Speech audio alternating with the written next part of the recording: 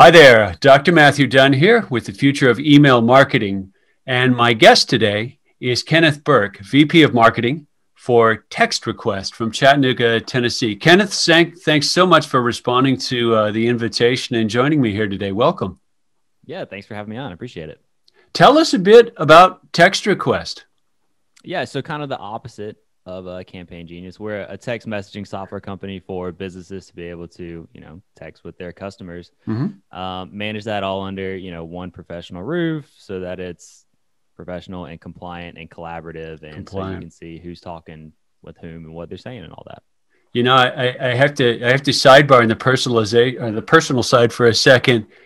Literally, the last the last guest on the podcast on on Friday was from Chattanooga, Tennessee, as well. Oh yeah. What are the odds? Yeah, really. It's the it's the town for me at least. It's the town famous for uh, for bandwidth and innovation, right? Municipal fiber network. Yeah, um, 10, uh, 10 gigabit speed throughout the whole city. So right, has that actually spurred um, you know startups and companies and innovation for the area? It has, and I was actually just reading another. I'm a huge champion for Chattanooga, and but yeah. one of the things I was just reading 20 minutes before I jumped on here was how we're another outlet named us uh, the number one city for work from home or for remote workers. And a big yeah. piece of it is that, that exactly 10%. that that gigabit speed internet that's just you know foundational every- to the community. Yeah, and so people they come here and they I talk to another person every week who's moving from Dallas or somewhere in California, New York, uh, for you know to and they have digital businesses and so it's a really easy switch for them but yeah i was uh, I, I, was going to ask if you're getting an influx of people as as you know as moves as place shifts around in in this pandemic and post pandemic you know if i can work mm-hmm. from anywhere dot dot dot yeah, anywhere there's here. bandwidth exactly yeah yeah my uh, my friend paul schreiner who's the co-founder of audience point was the guest on on friday oh, and oh, yeah. uh, do you know them uh, I'm familiar with Audience Point. I don't know Paul personally, but okay. Uh, I I will. I promised. I promised to connect the two of you afterwards. You may have some may have some other interests in common. He's a great guy as well. Um, so I got you off track almost right off the bat. Text request businesses. Yes, are there particular kinds of businesses, size, industry, whatever that tend to be your customers at this stage? There, well, we do work with about hundred different industries, so it's oh, pretty wow. broad. Uh, but we tend to fall into a few key categories: home services, mm-hmm. so your landscapers, your cleaners, your electricians, um, professional services, financial advisors, insurance accountants, lawyers. Those kind of all get grouped together. Mm-hmm. Um, those are the the two big ones. A lot of nonprofits, uh, some government okay. agencies, education. I can go on. Yeah, yeah, education as well. Interesting, like colleges as well. Mm-hmm. Private schools, colleges, and universities. Yeah, I would, I would, I would think that I would think that would be really effective for them. You've been at the company a fair stretch yourself, right? Yeah, so I've been here just over six years now. Um, so I started two months about after we launched. So oh wow, day one, yeah. Wow, good for you. As uh, and and obviously some some growth just judging from the number of industries you mentioned. How's how's that been? Going through that. Have you been through that ride with a relatively young company before and r- ridden along with the growth? No, this was first for me. So, I mean, the only other experience I had, I mean, I had jobs before, but the only other experience with like a, a business working with that many different industries was, you know, working in dad's CPA firm. Oh, wow. Very different. A CP, from a CPA firm to marketer at a texting company. Give us a give us a brief, you know, like career snapshot. How'd you land end up doing what you're doing? Uh, it was serendipitous, really. So, uh, again, CPA background, or I actually went to college to study music. Um, what do you around, play? Uh, guitar mainly, but it was at the time, you know, you have to you have to educate your right, so you have to play several different things. So violin yeah. and piano were yeah. were my two others. Um, and then I was a terrible vocalist, but uh, anyway, so flipped around a little bit, ended up in psychology. Really loved that. Um, really found my place there. Mm-hmm. Um, but then got out of the education side of it and went into uh, financial planning. So putting that background to use. And then I also got married. My wife and I wanted to move back to Chattanooga. Um, I wanted to get out of of finance, mm-hmm. and a friend of mine from college was one of the people, one of the the founding five to start text request and i said that sounds really interesting let me just come join you and Yeah. he said okay so Nice. at that Nice. time it was cold calling colleges and When when did the company start? 2014 november 2014 Okay. Okay. Interesting. There's a there's a company in Seattle called Tatango. I don't know if you've run into them. i'm familiar Mhm. You are okay. So quick but quick but funny side story. I remember sitting in Derek Johnson's basement. He's the CEO of Tatango.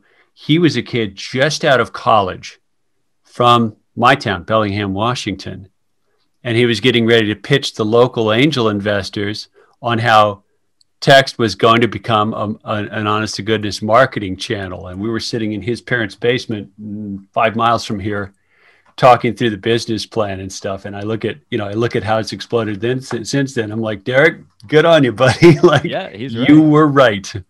And then the int- the question that's always posed to me, I don't know if you had this on your list or not, but text is a great channel. It's an additional channel for most people who haven't been doing it before. And so communications experts or, or leaders always ask, okay, well, well, there's another option. How do we make sure we aren't overwhelming people? Yeah. And I always think that's an interesting question because I mean, it comes down to consumer preferences, right? Like um, people need to be able to choose how they're going to interact with you, and you need to be able to accommodate that. Some people really want email and they only want email. Some people really Mhm. want text and they only want text. Some Mhm. people want uh, a mix of that plus social, maybe a direct mail thrown in here and there. Yeah. So when you're talking with uh, customers or prospective customers, um, is there is there any consistent line that says likely to be for this purpose, not for that purpose? Like, how do you see those two at least, email marketing and and text, um, tending to coexist in people's preferences?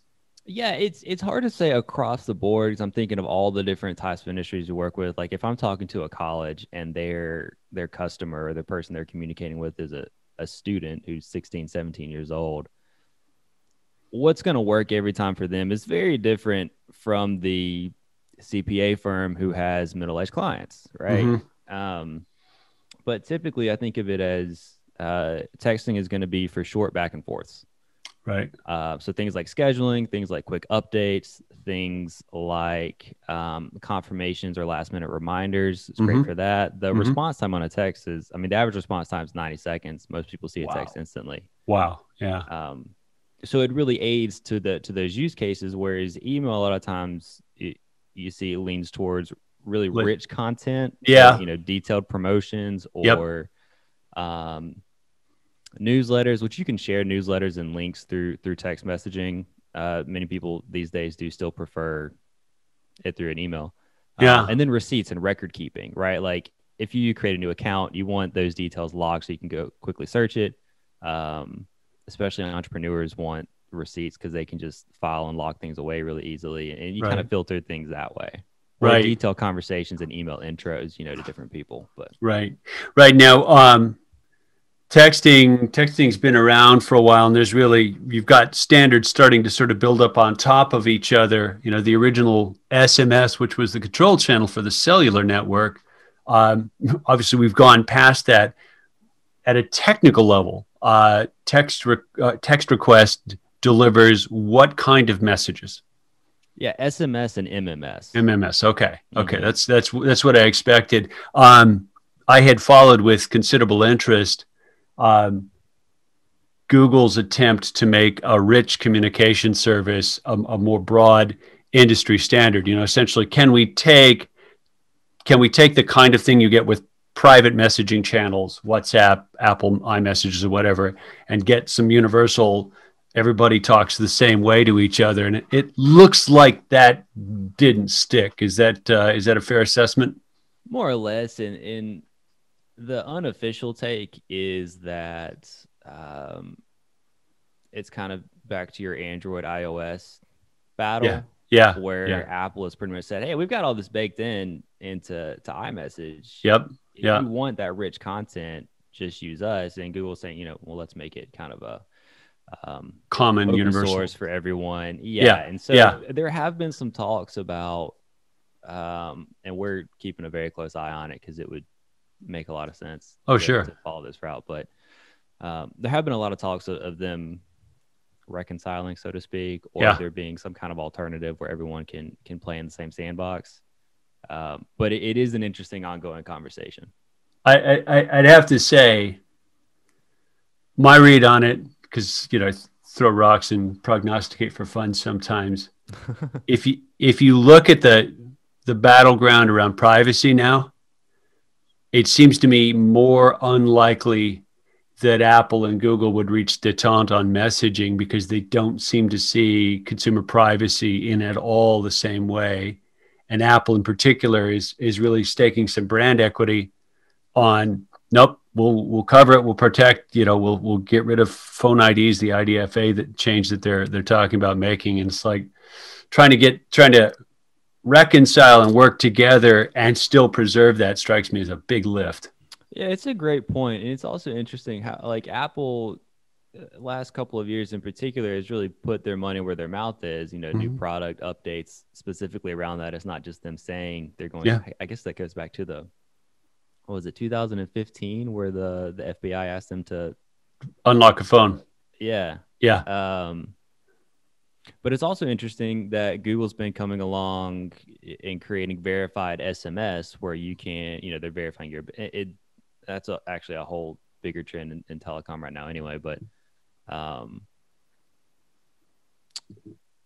going through verified SMS or verifying that these are real businesses sending legitimate messages to real people to to cut back on on spam because that's been become such a huge problem. Uh, spam spam and text uh, SMS and MMS has become a problem. Hmm Well, I mean, it's it's like anything, right? I mean, if you can get a message out to a lot of people quickly, someone's gonna find a Someone's way going to abuse it. Yeah, yeah. I mean, we we've uh, in in in our platform, Campaign Genius, we make occasional use of uh, APIs from Twilio, and I'm Mhm. sure you're more than familiar with them. And I always look and say, "Gosh, I'll bet I know how those those dorks that just you know spammed my my inbox on my phone, my texted me on my phone a minute ago. I'm betting they spun it up, sent a bunch, and then beat feet out of town. It's got to be a Pretty much. I mean, a, a lot of times we've seen it. You know, it's it's a stolen credit card. They buy a list of contacts, and then they, you know, they'll go until you get shut off, unless you're able to stop them before they start. right, so- right. Anyway, so so there, there's a lot of people out there, Apple included, you know, who and Yeah. Google, we're we're all working to, and I'm sure you as well. You know, make sure people can't do that.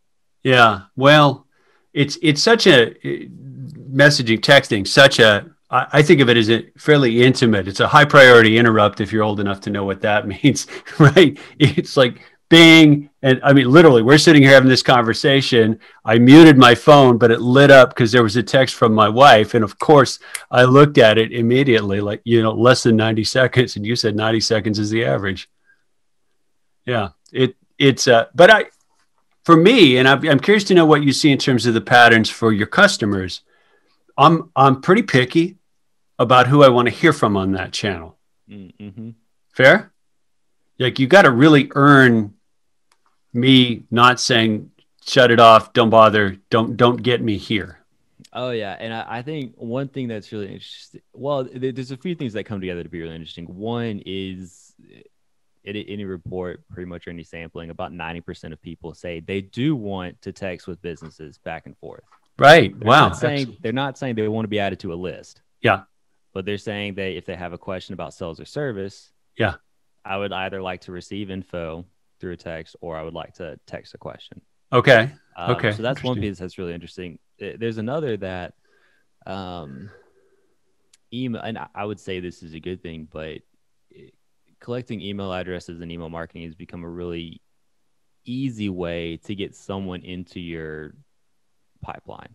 Mm-hmm. Um, people are pretty willing to give up their email address in exchange for a discount or an ebook or something. Right. And you are seeing that with with text. Really?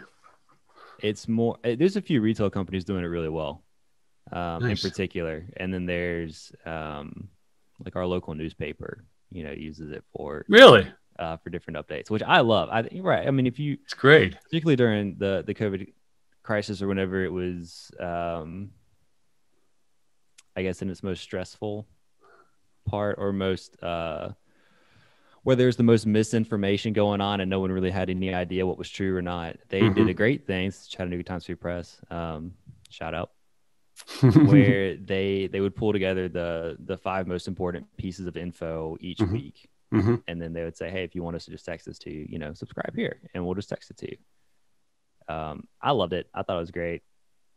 You know, I, anyway, a lot of people enjoy receiving updates like that, right? But Yeah. the big thing for for text is, like you said, it is a little more intimate, it's a little more personal, and so if they're going to, um, I'm thinking specifically for marketing for getting on a list. If they're going to get on a list, it needs to be a very clear opt-in that hey, I am Yeah. Yeah. opting in for this specific thing at this specific frequency and then if you um you know if you break my trust then i'm going to opt out Right. Right. and that's kind of a fair fair statement for any channel Yep. um it is interesting that the for those who opt in the lifetime from what we can see the lifetime opt out rate is under 5% so once people are in they're very loyal Wow. Yeah. think it's Wow. That is fascinating. Um, you talked a bit about the like the diversity of the customer base the text request serves. Um, broadly speaking, what's what's the what's the where are they coming from when they end up finding you know finding you and becoming a customer and putting it under that kind of you know business management umbrella that you described early on? Is is it the overworked intern who says I can't keep doing this from my phone, or what are they coming from when they end up with you? Yeah, so there's uh well there's kind of three three sects or three types of companies or profiles. There we go. Buyer personas. Buyer personas. Uh drop the buzzwords. Um we have uh there's a small business persona where it's typically either an owner operator or an office administrator who's running everything. So they're touching payments and customer service and sales and feedback and everything. okay. Um, and in their case, that's that one owner or head of office who's they're overwhelmed, they're overworked, and they say, "I need something better." Okay. And so usually it's them saying, usually it's them reaching out, like them, them realizing they have a problem, they're searching for it. It's a pretty active market now, which is great. hmm So people are primarily coming to us. Um, sometimes it's you know a, an email sent out to them, right place, right time Right. Okay. um, Okay. or a social media post that I had two people last week that said, "Hey Kenneth, I saw you know such and such on social, and that resonated with me. So Mhm. can we talk?" hmm Um, so that's one type. Another type is is more that mid market, where you either have multiple uh, locations, multiple branches, or you have multiple distinct departments. And Okay. so we'll a lot of times we'll have a branch manager or a VP of sales come to us and say, "Hey, we're you know, we're having to call customers five, six, eight times, and then we're barely reaching anyone, and it's Right. killing our operations." Right. Right. Um, so we need to bake something in. And then the third is more of an enterprise use case where they need to build something themselves. And like you mentioned Twilio earlier, you know, it becomes a, a conversation of do I want to go with a, a Twilio where, um, you know, the world's my oyster, but I have to build it myself, or do I want to go with something that's a little more uh, that's already built out? It's kind of a plug and play. Okay. Um, Okay, you know, and then yeah. there's that build or buy conversation. Does that Yeah. answer the question, or were, were you going more Yeah. customer acquisition channel? I wasn't worried about the acquisition channel. I was just trying to get a beat on, um, on, on you know, on the on the call. Let's call it communications. Uh, you know, communications maturity cycle that says, okay, this this channel texting is now a viable piece of my business, whether it's operations or marketing or information. In the case of your newspaper, it's not just a one-off happenstantial thing. It's like there's some there's some deliberation to it, and it becomes that list. I would assume becomes an asset, especially at a five percent churn rate. Like, Oh, for sure. And Right, something that's fantastic. unique to us too, or at least has been, you know, since we've started, uh, or would distinguish us from a Tango is we have focused on conversations Mhm. from the start. Mhm. Um, so marketing is a part of that, right? Like you can text from your your landline, what have you, and and text hundreds or thousands of people mhm. um, promotions and to drive sales. Uh, but what we really focus on is is creating conversations. So getting your customers to text into you, you know, from your website or from whatever else you've got going on. Mhm. Um, and then if you've got an update or you need to, to engage with them in some way to be able to say, you know, uh, hey Matt, can you get me that sample? Or you know, uh, following up on the estimate. Did did you have any questions? Um, to start those conversations. So it's So a on the bit bus- different than just list making. Yeah, a little different than just list making, uh, and definitely could become much more of a, a conversation channel. I think not just uh, not not just a uh, broadcast out to lots of people channel. So in terms of the in terms of the tool set from your company, does that mean that a customer that's really rocking it with text request may have multiple employees, uh, you know, logged in and paying attention to that channel? Yes, and it, it depends on the situation. Again, like if it's a you know a smaller company, it might just be an office administrator, or maybe Yeah. it's one person buys. I, you see this all the time. You know, one person buys the account, one other person actually uses it. Okay, yeah, Um, interesting. But then there's, I mean, there's probably I won't give a number, but there's a substantial percentage of ours who they of our customers who they come on and then they add everyone in the company just Right. about as a user. Um, or they'll create different accounts, you know, di- different logins for um, different departments. you know it's been i'm jumping i'm jumping around a little bit but you know wa watching uh if, well what's the best moniker for it? Let's just say messaging super generically like short back and forth and initial at least uh, written language text centric. You had um, i forget the name of the company. I think they were from israel one of the first messaging systems to take off they got bought um, you had WhatsApp and a whole class of private messaging kind of explode. And now that's petered out. And now the ones that are very, very privacy focused as private channels, the uh, Telegram and Signals, appear to be having a bit of a day in the sun. I, I don't know how long that'll last as well. And then that long, slow, steady from the signal channel SMS to overlaying MMS so that you can get a little richer conversation going on. That is never going to go away because it's going to be very hard for someone to pry this phone number out of my hands, right? If you've got this number, you've got a very long-term relationship with me, which is where you guys sit. Yeah, and that was that was actually something I scribbled down before the conversation. Was it's really interesting to me how many people keep a phone number longer than they keep an email address. Oh, not yeah, yeah. not knocking email at all, but I mean, you get a phone number Yeah. when you're 13 years old. A lot of, I still have the same number I've always had.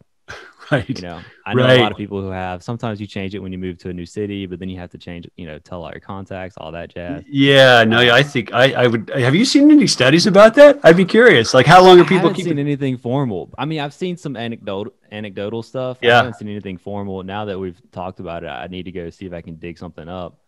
Um, but I mean, think about the average person changes jobs every three months, or sorry, not every three months, every three Three years. years, yeah.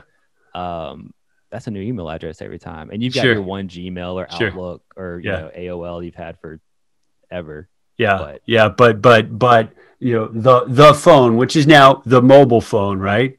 My uh my older son, when he hit that stage where it was like, okay, we're gonna get him a phone, got him a phone, and he ended up with the last four digits of his number being the month and year he was born. Huh. Nice coincidence, and complete coincidence, right? But I remember thinking, he's never gonna give this number up ever, right? like no at all. way and you, you when you get it fanned out and you're in you know you're in un, an unknown number of address books out there or lists of businesses et cetera et cetera yeah i i i, I think you're right and email addresses being used as intentional temporaries is so common as well like ah, i'll keep a you know i'll go sign up for a free gmail account and put all of my promotional crap there because why because i don't want it in my regular inbox sure Mhm. why not but you don't you don't idly do that with your phone Well, and it's interesting too. You were talking about the different messaging channels like WhatsApp and Telegram and all. And Yeah. you're right. I mean, there are just so many options now for messaging. Every social media platform has a messaging tool baked into it. Um, you know, a lot of a lot of other apps that businesses have, you know, that would be kind of not single use, but have one purpose. Yeah. You know, I'm getting this to interact with this business. You know, even those have uh, messaging baked into them. And I, I think what will be really interesting is to see long term who comes, and we're working towards it some, but who comes out uh, to pull all those channels together into one place. Hmm. If so that, that yeah, if they can, back and forth. yeah, if they if they can, it's it's also, and I think this is true of email as well. I've joked with people, you know, cocktail party conversation, whatever, that the one thing we left off the internet was identity. Cause, cause really early, early underpinnings, all of the early protocols, you, there was no who, right? And people use email somewhat like identity. Uh, someone in email marketing will say, well, if you don't have an email address, you're digitally homeless. Okay, agreed. But I don't have just one, and almost nobody has just one.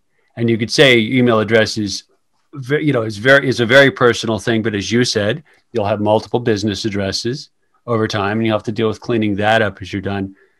All of that's not true of the mobile number now. Like that's a very intimate, close to an I, you know, close to an identity level thing. That number. My son's never going to give that number up. You've had the same one your whole life. Like, wow, that's that's that's a really high bar in terms of the value of that uh, connecting point between you and other people.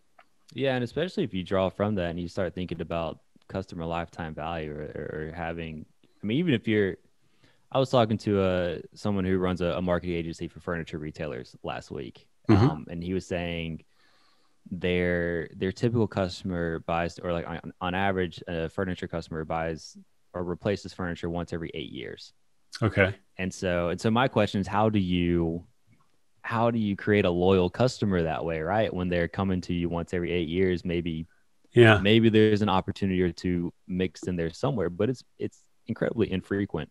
Yeah. Um, but you know, you're talking about you keep the same same number, same piece of identity over time. That can be a great way to, so, to keep people engaged and stay with them. So the challenge for that for the marketing use in that case is how do you how do you stay in contact without and and and make it a valuable conversation. You don't want to just keep sending them ads for furniture if they're not going to buy for years. You're just eventually they're going to go just be like bozo filter, stop right, stop sending me stuff.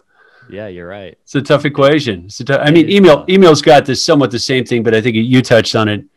There's a there's a degree of tolerance with email because it's not such a high priority interrupt because the the sort of tool set for eh, I'll get to that later and the habits are more built in.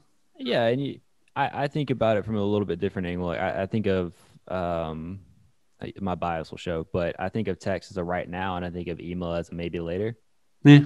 Yeah. Um, so text, yeah. like if I'm trying to get quick engagement or I need to, we have customers all the time who they'll send, you know, they need a, a, a, a boost in sales at the end of the month. So they'll send every, all their past customers a, a text, you know, the last week and try to, to drive more bookings right. or services, you know, what have you. Um, but then I think of email where I'm, I'm getting 10 things a day that I have zero interest in.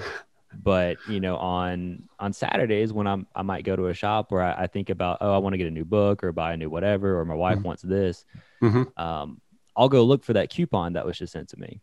Right, right. So I'll go yeah. back and look it up. And anyway, um, so I think of uh, like email is there as a record I can go back to. Yeah. If yeah. I want which, someone to engage with me right now, you know, it's a text. Which doesn't, uh, my, my, my wife deletes message threads, uh, text message threads, no matter who they're from. Like she doesn't keep them all, she deletes them. Um, but she keeps email forever. And, mm-hmm. and I'm almost at inbox zero, which is a whole nother conversation. Never thought that would happen. Doesn't mean they're deleted. It just means they're out of mind. Right. Yeah. But my text messaging records go back years. I'm like, eh, I might want to look at it later. I'll keep mm-hmm. it, particularly when it's from you know friends and family and stuff like that. We flip flop on on that uh, on that matrix. I did want to ask you. I mean, as as as marketing VP, you also probably end up with a hand in email as a channel as well. Like, tell me about coexisting with those two things in your job.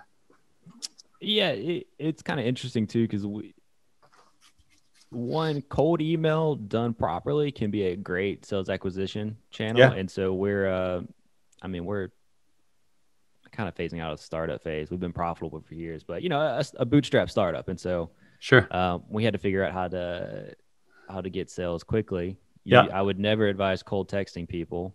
Um, no politics or nonprofits is the only exception or non-commercial use is the only exception. But even then people well, there are too many there there are too many cooks in the kitchen trying to do the same thing to mm-hmm. reach the same people, so it just creates problems. Um, you need more of a centralized approach, but um, anyway, cold email was something that worked really well for us. And then, you know, I mean, the stuff you do all the time, re engagement for cold leads or for just keeping customers in the loop. Mm-hmm. Um, I mean, we still send out, you know, uh, a newsletter every week.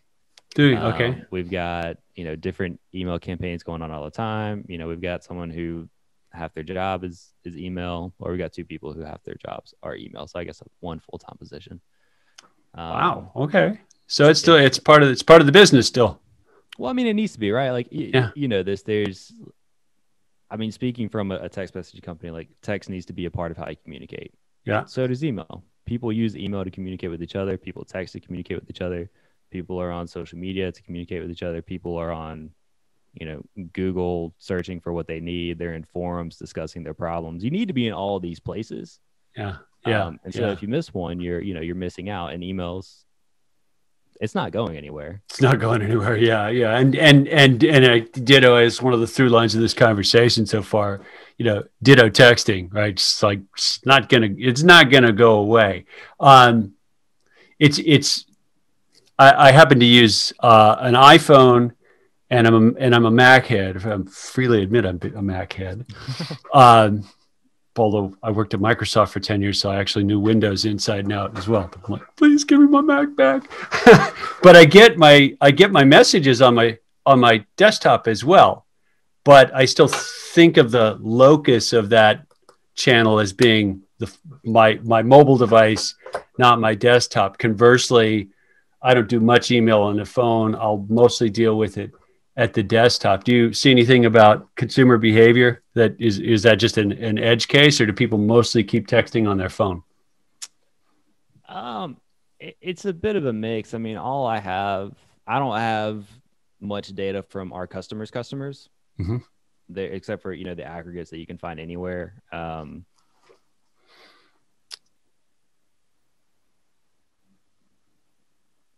yeah, because I'm trying to think. Most, I mean, it is it is edge case that messages like your situation is edge case that messages people still use it from desktop From devices. from desktop, yeah. Now you Yeah. see it with with uh like iPads, you know, Okay. or tablets all the time. Yeah, uh, where people have them synced, but Yeah. you know, there, there's still fewer people who have a tablet as well. yeah. Uh, but it's interesting. You talk about you do all your email on on your desktop. I think the last report I saw, it's 55 or 60 percent of, of Yeah. email opens are mobile. Mobile. Yeah. Well, that's that's open. So it's like I like oh yeah, I'll read that later. Right. Read it, deal with it, especially if I'm going to respond to it. I'll type so much faster to keyboard that it's just a pragmatic decision like yeah, I could I get back to that guy a lot better and I won't have as many I won't have as many typos. Um yeah, wow. I'm curious, and this is like this is sort of particularly coming from the the angle of of um, the things that our company does, Campaign Genius. But do you see shifts in the balance between SMS and MMS, and what's happening with uh, with media and visuals and the sort of richer component of what that MMS can deliver? Is that on the rise? Is it do, is it behavior just as it's always been, or what? That's a good question. I was actually in a conversation with our demand generation specialist about this um, last week, I guess. And it it kind of depends. I mean, there's so much noise going on from so many different channels that it is tougher to stand out.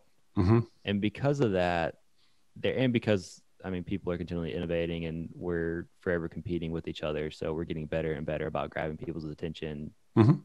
And then people adapt and you have to figure out a new way. Yeah. Um, and so one of the ways to get people's attention is richer content. Yeah. And so there is a, I mean, I'll tell you, if you're sending marketing text, messages with an image are almost always going to perform better than messages without an image. Not surprised, but yay. Yeah. So I mean, there's there's that piece to it, but I, I think it still comes back to something you said earlier, where you can't just be messaging people for the sake of messaging them. You have to have something of value to offer. You something have to have a say. reason for reaching out. Yeah, yeah. and because I mean, we we see it, and our customers see it too. And this would apply to, to text as well as to email and other channels. Um, a boring plain text, you know, let me ask you a question to start a conversation can be as as effective and have as high or higher returns as the fanciest template. Right, right, right. It's also there, where there's context, you know, if I'm getting something rich, interesting, you know, richer media, as you said, from somebody, I wouldn't expect that to be the first thing I get from them because then it would be like, well, wait a minute, why'd you go to all this work? to Yeah, to also you can only go downhill from there, right? Like if you start with True. your best, it's not going to get better. That's true. Yeah, that's true. Yeah, that's true. I I find um, at least for the businesses that I interact with, just as you know, just as a person, on the the sort of utilitarian and day to day use of text as a channel is wonderful. Like for some reason, my dentist is totally on top of his texting game. I literally got a text this morning like, "You have an appointment on," and I was like, "Oh wow, thank you." I would have completely forgotten that. And they must know that that's a high priority interrupt. Like they ping me there, it's not going to get lost in my inbox. I'm like, oh yeah, I do have a dental appointment. Make sure it's on the calendar and stuff like that. Is that one of the things that you do that you find your customers doing? hmm And it's interesting for that particular use case because there's about a 20% lift in kept appointments from those confirmation messages. Which is money in the bank, isn't it? Oh yeah, I mean, I I'm dollar for dollar. I'm more familiar with with the home service industry, and so you say you're talking 150 bucks for average cleaning or, or service like that. You know, you send one message and you can have these scheduled in advance, right? So it's you don't think about it. Um, but a, message will cost you what a penny or a few cents, Yeah. and it gives you an extra 150 bucks each. Yeah. you Yeah. know? One one appointment saved and you're ahead for 10 years.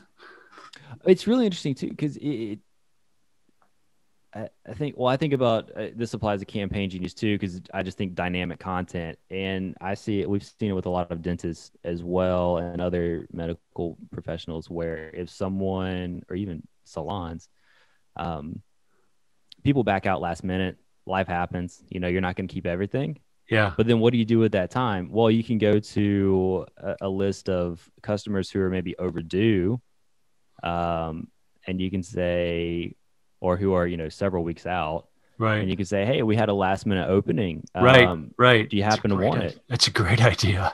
And it works. A, wow, that's a great idea. Fill yeah, that fill in, you know, hairdresser, you know, service industry, like what you know, you know, we're going to be in the neighborhood. Do, is there? I, I don't know why that occurred to me. Do, is there is there any um, really targeted like geofencing capability in text request? Can I say I just want to get get to people that I know are within five miles of my you know dental office? There's not. It's a very interesting conversation around that because they well, there's there's the one piece right. Like a lot of people who start with geofencing want to to push out um, or push notifications.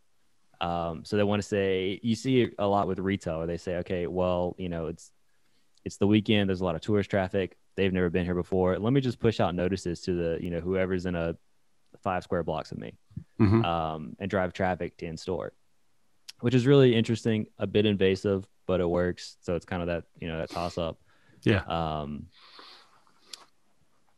but then an interesting point to like if you're talking text messaging, there people need to be on your list already. I guess it'd be email too. People need to be on, on in your list already, um, or have that opt in, and then you would need to to GPS track where each person is to see if they're in your radius or not. Yeah, yeah. So it gets kind Gets fascinating, but really, yeah, complex. yeah it gets gets gets daunting i mean for for email and this is this is this is uh, to be blunt really cutting edge email stuff but like we can enable someone to email and change the content based on where the recipient is when they open it hmm but it's that's such a new thing that's such a new capability for email that frankly a lot of you know customers we're we talk to are still like wait a minute what we can what like yeah we could say deliver a pixel if they're not within range x deliver a coupon if they are within range x Yeah, and it makes it makes so much sense too. I'm thinking restaurants is an easy one. Um, Yeah,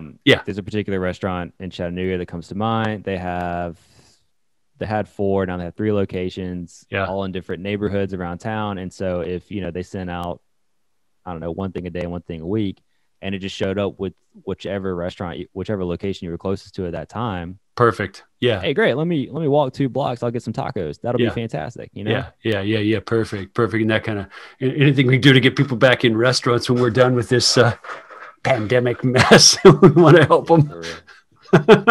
How's that been? A total personal sidebar, but has Chattanooga sailed through the pandemic okay? It's been it's been weird here for sure. Chattanooga is well, okay. It has negatively affected a lot of people in very profound ways that some people won't recover. Like that's Yeah. fact. Yeah, um, some businesses have gone out, but it has been great to watch our community come together for each other, and even uh, it- and even to see how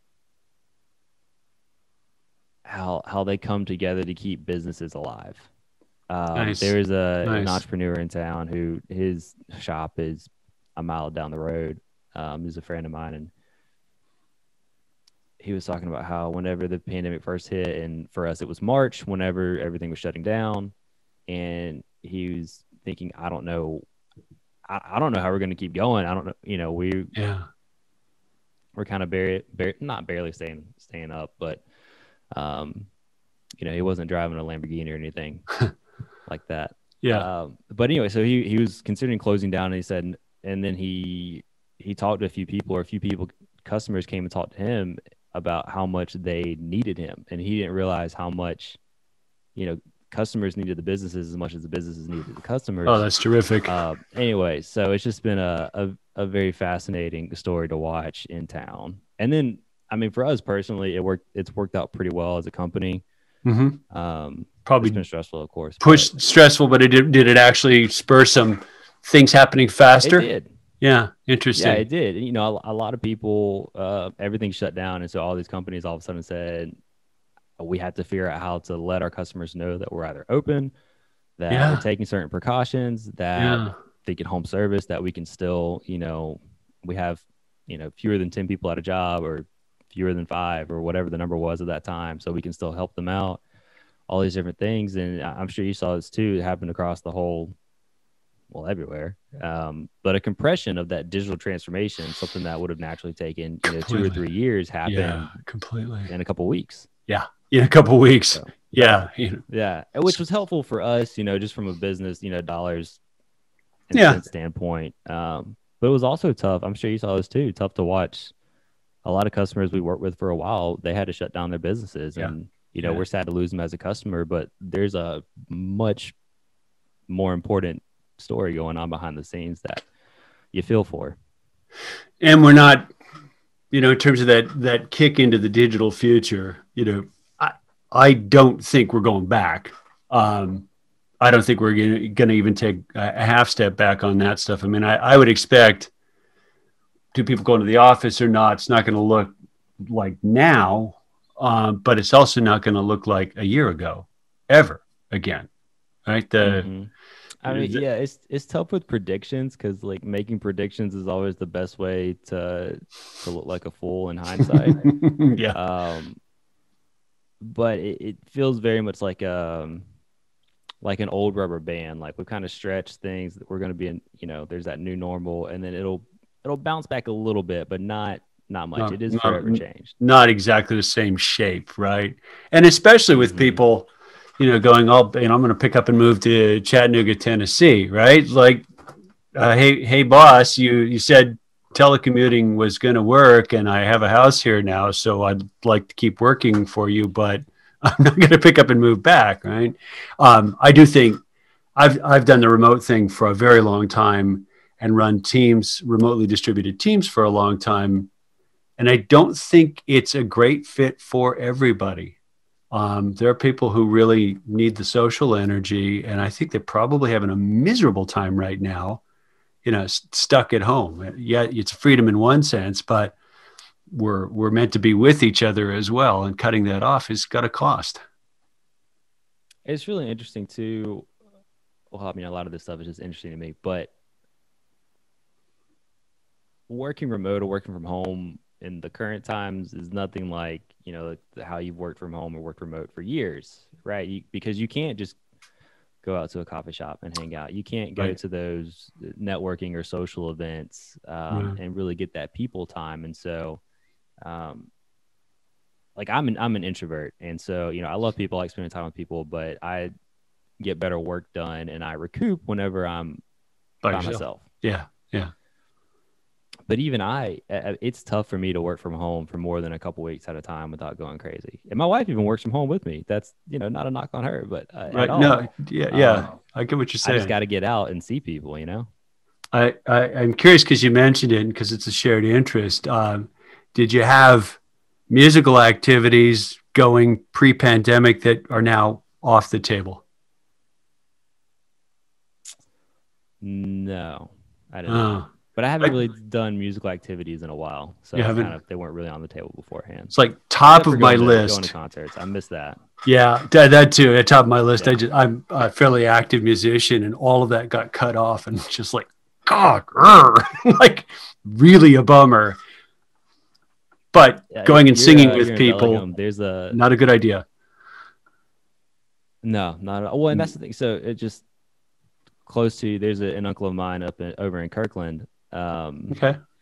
And he, he he was playing. I mean, he's been he's almost seventy years old, and um, so playing in a band with uh, five or six other guys, you know, about his age. Yeah. And they would go, they'd play, you know, a show they'd practice several times a week and play a show once once a week or so. Right. Um, he said that was the he's retired and all, and, and that's the that was the biggest shift for him is they couldn't go play or do their social oh, things I'll anymore. Bet. I'll bet. Um, yeah, that'd be so, so hard, especially yeah. especially if you had an active group like that. Yeah, yeah, and I mean that's just that's one thing you do together, but it's one that's gotten particularly hit just because of the specific nature of what we're what we're all battling. That and that and I think theater is toast for a while, but oh well.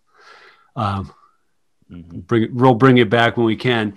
Um, we should wrap up because I managed to occupy more of your time than you even promised me. But um, part, you know, if you were talking with a business that says, "Well, text, I don't know," like, what do you tell them? Let's let's let's get a parting message that really frames why this should be, you know, looking at what a company like Text Request could do for them. Yeah, so some of it depends on the use case, uh, specifically and how your company operates and all that. But I, I, mean, the root of it is we're all trying to boost or increase engagement with our audience, whether that's customers, whether you're a nonprofit and trying to connect with donors and increase donations. Mm-hmm. Um, you live or die on how well you can interact with your audience. And yeah. these days, texting is the best way to do that, right? It's not the only way, but it's something that has to be a piece of of your customer communications. Uh, and then we just make it really easy to manage that, whether it's for one-on-one conversations or for sending messages out to to a large list. Yeah, yeah. And the return is, I mean, the average returns 25x the spend. So wow, and there you go. There you go. Well, listen, Kenneth, thanks so much. It's been wonderful getting getting acquainted a bit and learning about the company, and I, I appreciate the uh, I appreciate the time. Hopefully, we get a bunch of listeners learning more about you for the for the time you spent doing this. Yeah, thanks for having me on. I really appreciate it.